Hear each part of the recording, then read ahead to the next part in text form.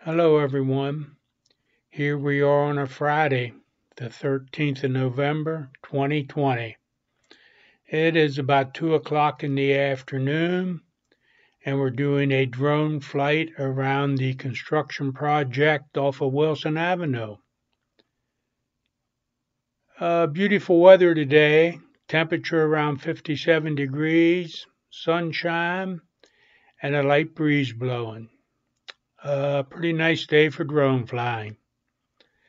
There's uh, the usual activity going on around the construction area down there. And also for the usual, down in the comment section, there'll be a link down there. You can click on that and uh, go back and see any previous videos. Have a good day, everyone. We'll see you later. Goodbye.